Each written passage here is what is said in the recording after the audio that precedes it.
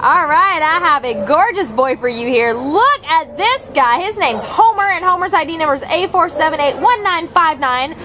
Homer is a Beagle mix. Um, probably with something else. We don't know what else, but he's definitely got some Beagle in him. And oh, he's just so beautiful with his chocolate and tan color. Look at that. You can see the tail back there just wagging like crazy back there. he's a very happy boy. We think he's about two years old, and he came in as a stray on December 5th from Walnut. He weighs all of 30 pounds, and um, right now he's trying to um, check out some things. Some things are going on around him. He's very curious about. He's a curious boy.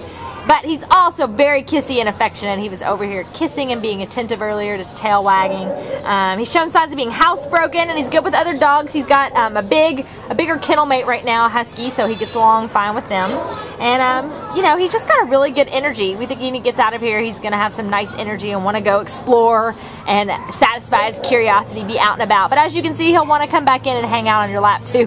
Listen, what are you talking about, buddy? He just sees all kinds of things going on behind me. He wants to wants to check out. Um, so if you are looking for a fabulous, beautiful guy, he's a great size, pretty much for any situation, you know, like a smaller medium dog at his 30 pounds. So he's definitely a great size.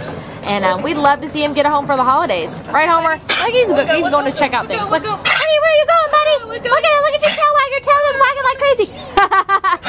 All right, Homer. Don't pull too much on that leash. We'll let you go check it out in a minute.